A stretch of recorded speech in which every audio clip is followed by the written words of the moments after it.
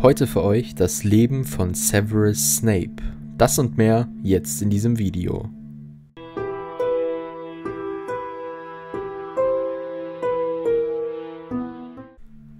Die Harry Potter Bücher sind erstaunlich detailreich. Ein Charakter sticht jedoch besonders hervor, Severus Snape. Er ist einer der kompliziertesten Charaktere und eine meiner Lieblingspersonen aus den Filmen und den Büchern. In diesem Video werde ich dir seine gesamte Lebensgeschichte erzählen. Severus Snape war der Sohn einer Hexenmutter namens Eileen Snape Prince. Der Nachname Prince stammte von seiner Mutter und Snape von seinem Muggelvater, Tobias Snape. Severus Snape ist in Spinners End aufgewachsen. Dies war jedoch kein schöner Ort für ein kleines Kind. Snapes Eltern haben sich nur gestritten und er konnte es kaum abwarten, endlich elf Jahre alt zu werden, um nach Hogwarts zu kommen. Sein Vater war nie mit irgendetwas zufrieden und konnte laut Snape nichts leiden. Snapes Mutter wurde von ihm als sehr dünn beschrieben. Sie hatte ein sehr markantes Gesicht und schaute immer sehr böse aus. Snape sah ihr sehr ähnlich. Als Snape neun oder zehn Jahre alt war, gewöhnte er sich an, das rothaarige Mädchen von nebenan zu beobachten. Ihr Name war Lily Evans. Sie zog ihn förmlich an. Er bemerkte Anzeichen, die besagten, dass sie eine Hexe war. Eines Tages entschied er sich aus dem Schatten zu treten und sich ihr zu zeigen. Etwas, was er schon vor langer Zeit geplant hatte, aber es lief anders, als er es sich vorgestellt hatte. Irgendwann begann Lily Severus doch noch zu vertrauen und die beiden wurden Freunde. Als die beiden bei Lily zu Hause waren, fanden sie einen Brief an Hogwarts geschrieben von Petunia in ihrem Zimmer. Die beiden konnten nicht glauben, dass Muggel in der Lage waren, einen Brief an Hogwarts zu senden. Aus Neugier öffneten sie ihn. Es war ein Brief, den Petunia an Dumbledore adressiert hatte. Lily, welche als angebliche Muggel geboren wurde und nichts über die Zaubererwelt wusste, nahm ihn nicht ernst und dachte, er wollte sie beleidigen. Er entschied sich dann dazu, Petunia, also Lillys Schwester, böshaft einen Muggel zu nennen. Auch wenn diese nicht wusste, was das Wort zu bedeuten hatte, erkannte sie die Tonlage von Snape und sie befiel, Lily zu gehen. Als die beiden gingen, warf Lily Snape noch einen vorwurfsvollen Blick zu. Petunia schrieb an Dumbledore, dass Lily einen Brief von Hogwarts bekam und sie nicht und fragte sich, ob ihr Brief nicht in der Post verloren gegangen sei. Sie fragte ihn auch, ob sie nicht mit Lily nach Hogwarts gehen könne. Dumbledore verneinte dies allerdings freundlich. Eines Tages saßen Snape und Lily in den Wäldern und Snape erzählte ihr von Hogwarts. Er erzählte ihr auch von dem Ministerium für Magie, Azkaban, den Dementoren und den minderjährigen Zauberern. Lily fragte ihn daraufhin, ob es einen Unterschied macht, wenn man als Muggel geboren wurde oder nicht. Snape verneint dies. Snape hörte Petunia eines Tages sagen, dass sie nicht nach Hogwarts wolle. Sie sagte, dass er und Lily Freaks wären und verrückt auf so eine Schule zu gehen. Lily brach in Tränen aus und konfrontierte sie mit dem Brief, den sie und Snape in ihrem Zimmer gefunden hatten. Das führte dazu, dass Petunia von ihr wich und sie bei der Abfahrt ignorierte. Nach dieser Situation gingen die Geschwister nie wieder normal miteinander um. Snape sah, wie Lily auf dem Weg nach Hogwarts über den Streit weinte. Sie erzählte ihm, wie sehr Petunia sie hasste. Snape antwortete auf das alles mit Und jetzt? Lily gab ihm daraufhin einen Blick, der von Abneigung gezeichnet war. Aber Snape brachte Lily zum Lächeln. Er sagte, hey, wir fahren nach Hogwarts. Du wirst besser ein Slytherin werden. Die letzten Worte zogen die Aufmerksamkeit eines Jungen auf sich. Dieser Junge war James Potter. James wies stolz darauf hin, dass er ein Gryffindor sein wollte. Snape machte auf die Bemerkung hin einen missbilligenden Ton.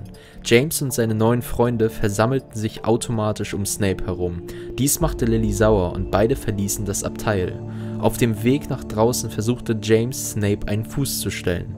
Als es Zeit war, in die verschiedenen Häuser einsortiert zu werden, wurde Lily zur Überraschung von Snape in Gryffindor einsortiert. Als Lily zum Tisch der Gryffindors ging, blickte sie über ihre Schulter mit einem traurigen Lächeln zu Snape hinüber. Als Snape nach Slytherin einsortiert wurde, ging er auf die andere Seite der Halle, weit weg von Lily. Die einzige Sache, die er sich niemals gewünscht hätte. Snape war in fast allen Fächern ausgezeichnet, aber seine besonderen Fähigkeiten zeigte er in Verteidigung gegen die dunklen Künste und im Zaubertränkebrauen. Er gab sich selber den Namen Halbblutprinz. Dieser Name setzte sich aus dem Mädchennamen seiner Mutter, Prince, und dem Fakt, dass er halb Muggel und halb Zauberer war, zusammen. Snape schrieb alle möglichen Notizen in sein Buch, unter anderem auch Zaubersprüche, die er selber entworfen hatte. Einer davon war der berühmte Zauberspruch Sectum Sempra. Dieser Spruch schlitzt den Gegner auf wie ein Messer oder ein Schwert. Snape nahm auch Änderungen an den Anleitungen vor und machte sie besser, als der eigentliche Text es besagte. Dies tat er, indem er kleine Dinge dazu schrieb oder den Ablauf veränderte. Während der ersten Schuljahre gerieten er und James ständig aneinander. Dumbledore beschrieb dies als gegenseitiges Verachten. James und seine Freunde nannten ihn Sneefelus und mobbten ihn täglich. Einer der Studenten, der gleichzeitig der beste Freund von James war, hieß Remus Lupin. Er war ein Werwolf und ging jeden Monat in die Nähe der heulenden Hütte. Dies tat Lupin, um sich dort zu verwandeln. Snape beobachtete ihn dabei und war sehr interessiert daran herauszufinden, warum er jeden Monat an die gleiche Stelle ging. Sirius Black erzählte Snape, wo der Eingang zur Weide war und wie man an ihr vorbeikommt. Snape folgte den Anweisungen von Sirius und als er fast dort war, packte ihn James ohne Rücksicht auf sein eigenes Leben zu nehmen und rettete ihn vor dem sicheren Tod, den er bei Lupin als Werwolf gehabt hätte. Snape wollte nicht wahrhaben, dass James dies für ihn getan hatte und redete sich ein, dass er dadurch nur sich und seine Freunde retten wollte. Snape und Lily waren weiterhin befreundet, allerdings waren viele von Lillys Freunden sehr skeptisch gegenüber Snape. Obwohl sie ihn und seine Aktionen vor ihren Freunden rechtfertigte, mochte sie seine Freunde auch nicht. Eines Tages konfrontierte sie ihn damit. Sie erzählte ihm, dass sie seine Freunde nicht mochte und deren Aktionen nicht ausstehen konnte. Ich mag die Leute, mit denen du rumhängst, nicht. Sie sind gemein und benutzen dunkle Magie. Snape wurde sauer. Was ist mit den Sachen, die Potter und seine Freunde tun? Er war nicht in der Lage, seine Abneigung gegenüber James im Zaum zu halten. Lily fragte ihn daraufhin, was James und seine Freunde damit zu tun hatten. Er erzählte ihr, wie sie sich nachts heimlich rausschlichen, und Lily fragte, warum er so verrückt nach ihnen sei. Warum kümmerst du dich darum, was die in der Nacht machen? Snape versuchte Lily zu erklären, dass James und seine Freunde nicht so toll waren, wie jeder dachte. Lily konterte nur mit, immerhin benutzen sie keine schwarze Magie. Sie beschuldigte ihn anschließend undankbar gegenüber James zu sein. Er hatte ihn ja schließlich gerettet. Snape sagte, gerettet? Gerettet? Du denkst, er war der Held? Er hat sich selber und seine Freunde gerettet, nichts weiter. Dieser plötzliche Ausbruch von Snape und seiner Weise, wie er über James sprach, machten Lily nur noch wütender und sie wich von ihm. Sie versicherte ihm daraufhin, dass sie James nicht mögen würde und sie denkt, dass er ein arrogantes Schwein ist. Diese Worte erleichterten Snape. Während Snapes fünften Jahres wurde er von James und Sirius angegriffen. Dies geschah in der Nähe eines Sees, wo Lily saß. James und Sirius fingen an, sich über Snapes große Nase lustig zu machen. Lily kam hinzu und forderte die Jungs auf, Snape alleine zu lassen. James sagte zu Lily, dass er nur endgültig aufhören würde, wenn sie mit ihm ausgehen würde. Sie antwortete jedoch, dass sie niemals mit ihm ausgehen würde. Snape war sehr sauer und in seiner Ehre verletzt, weil er keine Hilfe annehmen wollte. Ich brauche keine Hilfe von diesem dreckigen Schlammblut, rief Snape immer noch außer sich vor Wut. Diese Wörter trafen Lily tief und sie antwortete kalt, okay, ich werde dich in Zukunft nicht mehr belästigen und ich würde in Zukunft meine Hosen waschen, wenn ich du wäre, Sneefelus. Snape versuchte vergeblich, Lily um Verzeihung zu bitten. Sie hatte schon lange genug Entschuldigungen für ihn gemacht. Lily beschuldigte ihn und seine Freunde, den Todessern beigetreten zu sein. Snape verneinte dies nicht. Somit war sich Lily sicher und antwortete nur enttäuscht, dass sie ihren Weg entschieden hätte. Mit diesen Worten ging sie fort. Snape sah sie danach nicht mehr viel. Er widmete sich seinen Träumen, endlich ein Todesser zu werden und Voldemorts Armee beizutreten. Lily ließ sich derweil mit James nieder und ich bin mir sicher, dass es Snape zerstört hat, die Liebe seines Lebens in den Händen seines größten Feindes zu sehen. Snape diente dem dunklen Lord als einer seiner treuesten Diener. Voldemort befahl ihm, sich als Lehrer in Hogwarts zu bewerben, damit er Dumbledore beschatten konnte. Eines Tages hörte Snape eine Konversation zwischen Sybil Trelawney und Dumbledore, welche ihm von der Prophezeiung von Harry Potter und Voldemort erzählte. Snape erzählte Voldemort davon und dieser realisierte, dass es sich bei dem Kind entweder um Neville Longbottom oder um Harry Potter handeln konnte. Er entscheidet sich, Harry Potter zu töten, den Sohn von Lily Potter, Snapes große Liebe. Als Snape bemerkt, was er getan hat, bittet er Dumbledore um ein Gespräch. Snape erzählt ihm, dass Voldemort denkt, dass die Prophezeiung Lillys Sohn meint. Er erzählt, wie er dem dunklen Lord gebeten hat, Lily zu verschonen. Snape bittet Dumbledore, sie alle an einen sicheren Ort zu bringen und zu verstecken. Dumbledore fragt ihn, was er im Gegenzug dafür erhält. Alles, sagte Snape. Dumbledore entwickelt daraufhin einen Plan, um die Potters zu retten, aber Lily und James haben ihr Vertrauen in Peter Pettigrew gesetzt, welcher sie verrät und ihren Ort an Voldemort weitergibt. Dieser bringt James und Lily um und versucht, den jungen Harry Potter zu töten. Jedoch gelingt Voldemort dies nicht, da Lily durch ihre starke Liebe zu ihrem Sohn einen Schutz aufgebaut hat. Sie hat ihr Leben für ihn aufgegeben. Als Snape die Nachricht erreicht, dass Lily tot ist, bricht er weint auf dem Boden zusammen. Dumbledore erzählt Snape, dass Lillys Sohn die gleichen Augen hat wie sie selbst. Wenn du Lily wirklich, wirklich geliebt hast, dann schütze den Jungen. Du weißt wie und warum sie gestorben ist. Lass das nicht umsonst gewesen sein. Hilf mir, ihren Sohn zu beschützen. Snape arbeitet weiterhin in Hogwarts und als der Kopf des Slytherin-Hauses Slughorn in Rente geht, nimmt Snape seinen Platz ein und bleibt auch in dieser Position, als Harry in Hogwarts eintrifft. Snape behandelt ihn sofort wie den letzten Dreck. Das ist seine Art, irgendeinen Trotz gegen Harrys Vater James anzuwenden, seinen größten Feind. Dumbledore befiehlt Snape ein Auge auf Professor Quirrell zu haben, den ehemaligen Lehrer zur Verteidigung gegen die dunklen Künste. Später im Jahr, als Quirrell Harrys Besen während eines Quidditch-Turniers verhext, performt Snape einige Gegenzauber, um Harry zu retten. Snape beschützt Harry das gesamte Jahr und Dumbledore war sich sicher, dass dies sein Weg war, die Schuld von damals auszugleichen. Nur so könnte er anfangen, Harrys Vater wieder mit vollem Hass zu verachten. In den darauffolgenden Jahren bleibt Snape dabei, Harry und seine Freunde falsch zu behandeln und bevorzugt die Schüler aus eigenem Haus, wie zum Beispiel Draco Malfoy. Während den Ereignissen des Feuerkelchs beginnt Snapes dunkles Mal immer dunkler zu werden. Dies bedeutet, dass Voldemort mehr Stärke zurückgewinnt. Am Ende des Jahres erlangt Voldemort seine volle Kraft zurück und kehrt in einem Körper zurück. Er ruft seine Todesser zu sich. Snape folgt seinen Anweisungen nicht. Später in der Nacht sendet Dumbledore Snape auf eine geheime Mission, um Voldemort auszuspionieren und ihm zu erzählen, dass Dumbledore ihn gesendet hat. Dies macht ihn zu einem Dreifachspion, jedoch immer noch loyal gegenüber Dumbledore. Er kehrt zu Voldemort zurück, genauso wie Dumbledore es ihm befohlen hatte. Snape entschuldigte sich, indem er Voldemort erzählte, dass er wie alle anderen gedacht hatte, dass der dunkle Lord tot sei. Dumbledore als sein Alibi zu haben, war eine gute Absicherung für ihn. Voldemort beschwerte sich nicht über Snape, da dieser viele Jahre an Informationen über Dumbledore besaß. Snape tat weiterhin so, als wäre er auf Voldemorts Seite und fütterte ihn mit nützlichen Informationen, verheimlichte jedoch die wichtigen Informationen. Snapes Skills in dem Verhindern, dass andere seine Gedanken lesen konnten und er andere Gedanken lesen konnte, waren sehr effektiv und hilfreich. Sie waren sogar besser als die von Voldemort und so gelang es ihm, Voldemort aus seinen Gedanken fernzuhalten. So sicherte er, dass seine Deckung nicht aufflog. Snape war weiterhin als Dreifachagent tätig und trat dem Orden des Phönix bei, den Dumbledore erstellt hatte, um Voldemort zu besiegen. Voldemort, der keine Ahnung hatte, dass Snape immer noch sehr loyal gegenüber Dumbledore war, dachte, er hätte Snape auf seiner Seite. Im Sommer von Harrys sechstem Jahr in Hogwarts kam Dumbledore zu Snape und erzählte ihm von dem Horcruxring, den er trug. Dieser führte dazu, dass der Fluch, der auf dem Ring lag, langsam auf Dumbledores Körper übergriff und ihn töten würde. Snape verzögerte den Fluch und Dumbledore fragte Snape, wie viel Lebenszeit er noch übrig hat.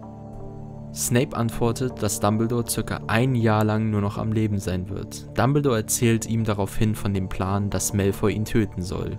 Da Lucius Malfoy vor ein paar Monaten versagt hatte, die Prophezeiung zu besorgen, sollte Draco nun das Versagen seines Vaters ausgleichen.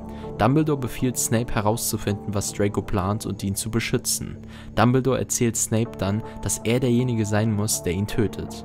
Dies ist der einzige Weg. Er begründet es damit, dass er sowieso in einem Jahr sterben würde und er nicht wollte, dass Draco komplett auf den falschen Weg gerät.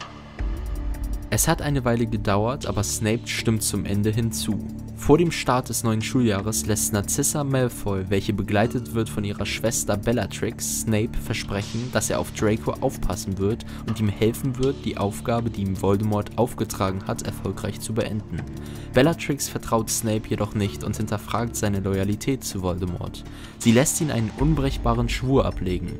Sollte Draco nicht schaffen, Dumbledore zu töten, muss Snape an seiner Stelle treten und es zu Ende bringen. Wenn er dies nicht tut, stirbt Snape. Eines Tages gerieten Snape und Dumbledore in einen Streit. Snape argumentiert, dass Dumbledore ihm nicht vertraut und schon alles für verloren sieht. Er sagt, dass er Dumbledore nicht mehr umbringen will und dass dieser zu viel erwartet. Ist dir jemals in deinen brillanten Verstand gekommen, dass ich das alles nicht mehr will? Dumbledore antwortet, du hast mir dein Wort gegeben. Er forderte Snape auf, ihn später in der Nacht zu treffen. Dumbledore weiht Snape nun endlich ein und erzählt ihm, dass die Zeit kommen wird, in der Voldemort um das Leben seiner Schlange Nagini fürchten wird, und wenn diese Zeit gekommen ist, soll Snape Harry die Wahrheit erzählen.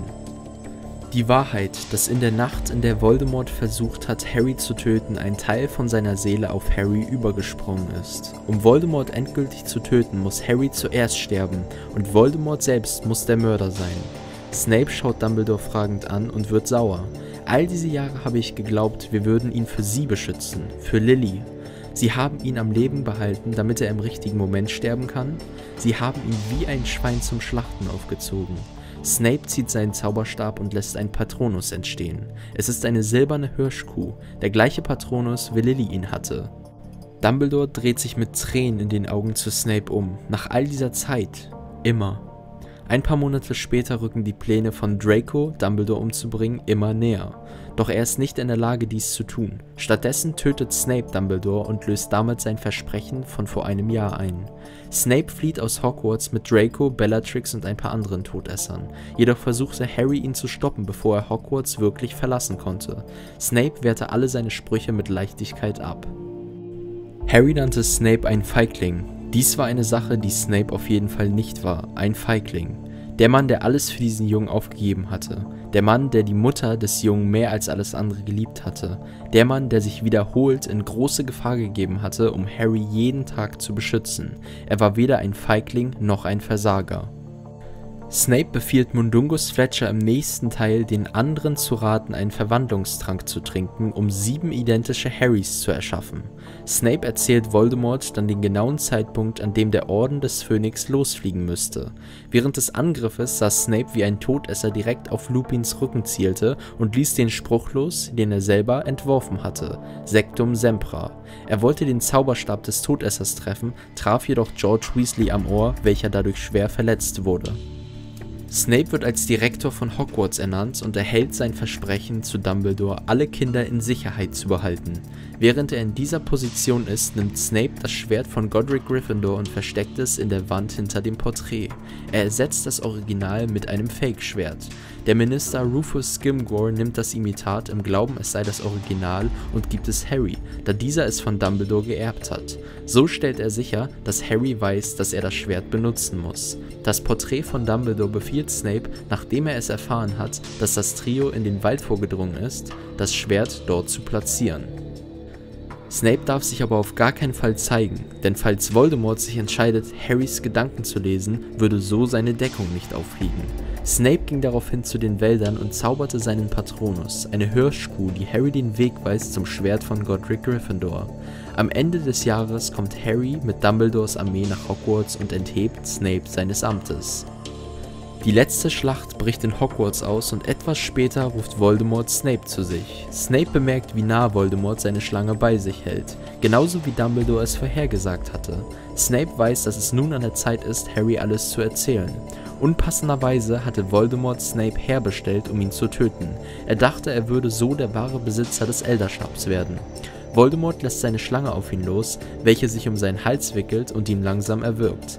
Erst als Voldemort sie ruft, lässt sie los und setzt ihn mit einem Biss ein Ende. Harry zog seinen Unsichtbarkeitsmantel aus und zeigte sich ihm. Er schaute auf den Mann, den er hasste. Seine schwarzen Augen fanden Harry, als er versuchte zu sprechen. Nimm sie! Tränen liefen an seiner Wange herunter, und Harry sammelte sie in einer kleinen Fiole auf. Diese Tränen waren die Erinnerungen der Wahrheit, die Wahrheit über Snape, der ein Dreifachagent war, der bis zuletzt loyal gegenüber Dumbledore geblieben war, die Wahrheit, dass Harry von Voldemort getötet werden muss, und die Wahrheit über Snapes große Liebe Lily. Snape war einer der loyalsten Freunde von Dumbledore und Voldemort konnte all diese Zeit sein Motiv nicht erkennen. Liebe. Und das war's auch wieder mit diesem Video und dem Leben von Severus Snape. Ich hoffe, es hat dir gefallen und wenn es das hat, würde ich mich sehr über einen Daumen nach oben und ein Abo freuen. Wenn du Fragen oder Anmerkungen hast, schreib es mir doch gerne in die Kommentare. Bis dahin, bis zum nächsten Mal bei Harry Potter Wissen.